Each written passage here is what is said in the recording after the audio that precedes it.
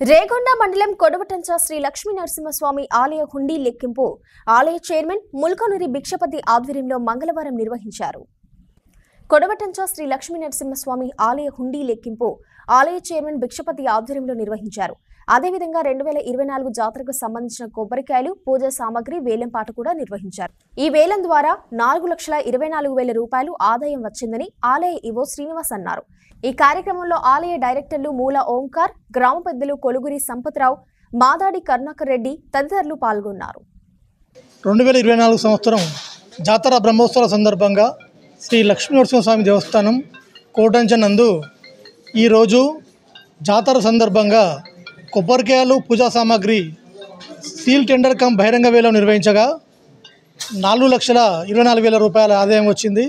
అలాగే జాతర సందర్భంగా పూలదండలు అమ్ముకున్న హక్కు నిమిత్తం పదకొండు వేల రూపాయల ఆదాయం వచ్చింది. అలాగే ఉండి కౌంటింగ్ కూడా ఈరోజు జరుగుతుంది. గత ఐదు నెలల ఉండి ఈరోజు విప్పడం జరుగుతుంది. ఇట్టి ఉండి ఆదాయము ఒక గంట సేపట్లో పూర్తిగా వస్తుంది. తదుపరి అటు వివరాలు తమరికి తెలియజేయడం జరుగుతుంది.